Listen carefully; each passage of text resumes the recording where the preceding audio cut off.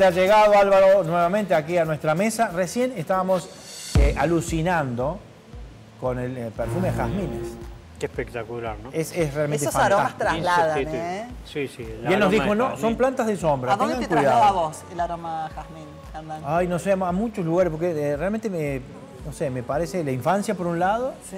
por otro lado el La campo. casa de las abuelas. Casa de las abuelas. Sí, ¿A vos, Alvarito, dónde te lleva el aroma? A mi casa, A en mi casa, sí. Siempre había, mm, durante el periodo de floración, floreros con jazmines. Sí, Yo totalmente. veo muchas me personas que cortan la flor y en agua la dejan de modo tal de que Para que también perfume, claro. se perfume más Sí, el es un perfume increíble. Bueno, Bien. habíamos, habíamos adelantado eh, hablar puntualmente de cuál es el régimen de lo que vamos a denominar las plantas compatibles. En este caso estamos dentro de la gama de las plantas de sombra y hemos elegido cuatro plantas que son totalmente compatibles. Compatible quiere decir que usted las puede colocar una al lado de la otra, respetando siempre la distancia de la planta adulta para que no se invadan entre sí, pero el régimen que van a tener de riego y nutrición es exactamente igual. Bien, En este ver. caso estamos con azaleas, jazmines, camelias y hortensias. Acuérdese, Es- estas esa es la fórmula, plantas, es la fórmula, de cara a las elecciones. esta es la primera Claro, línea, diría, primera línea. estamos hablando de fútbol, no de está, pero es va. una buena primera línea. Ahí está. El- estas plantas tienen un régimen compatible, quiere decir, son de pleno sol, necesitan suelos ácidos y su nutriente principalísimo es el hierro. Tres condiciones para esta planta. Sombra o media sombra, evitar el sol de la siesta en todos los casos y eh, aportarles sulfato de hierro en la maceta o en el cantero donde están ubicadas.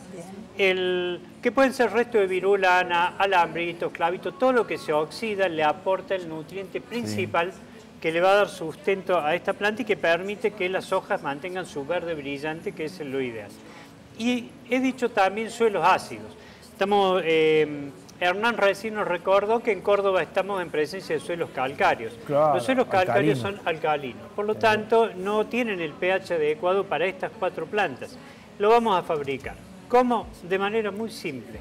Aportándole en el riego, eh, por ejemplo, en 5 litros de agua en un balde, un pocillo de vinagre Apa. es suficiente para lograr el pH justo para eh, regar la planta, no para el riego periódico. Con que lo hagamos una vez por semana es suficiente. Acuérdense que estas plantas en verano, sobre todo durante el proceso de floración, que es muy intenso, requieren en verano hasta tres riegos semanales. Digo que todas Mm. Usted tienen... en otra época me habló también de la pinocha. La pinocha, exactamente. La pinocha, que es la hojita del pino, muy fácil de recolectar. El- es, es sumamente ácida y por lo tanto eh, simplemente eh, esparcida alrededor de la planta, haciéndole como un cubresuelo con pinocha, logras dos cosas. Primero, proteger la humedad para que se mantenga húmeda, porque eh, las cuatro plantas que he mencionado requieren que el suelo esté húmedo. No anegado, pero sí húmedo. Y ese colchón de pinocha le va a cubrir el doble propósito, mantener la humedad y aportarle la acidez. En ese caso ya no le hace falta el vinagre. O el jugo de limón. Ah. O las cáscaras de limón, también eh, plantadas, enterradas alrededor de la plantita, el- también cumplen un doble propósito. Por un lado generan abono rico en nutrientes en general, pero por otro lado también le va a dar por la cáscara misma la acidez justa para el desarrollo de estas plantas. Álvaro, ¿qué pasa con la poda con este tipo de plantas? Ahí ¿En qué va. periodo del año es recomendable Bien. hacerla? Bien. Todas estas plantas eh, tienen que ser podadas. Por ejemplo, las azaleas, el momento ideal de la poda es cuando termina la floración. En el caso de las azaleas de jardín, que ya terminó la floración en estos días, es el momento de hacerle poda de despunte. Poda de despunte quiere decir, solo darle la forma de abanico redondeada va a ser suficiente. La azalea no necesita más poda que eso. En cambio, las hortensias, las hortensias se podan a mediados de la primavera. A mediados de la primavera, es decir, ya ha terminado el invierno y el mismo follaje seco se ha mantenido protegiendo la actividad de la planta y de la raíz, va a comenzar a brotar a partir de la primavera y nosotros a mitad de la primavera vamos a hacer los cortes. El corte de poda de la hortensia debe ser severo.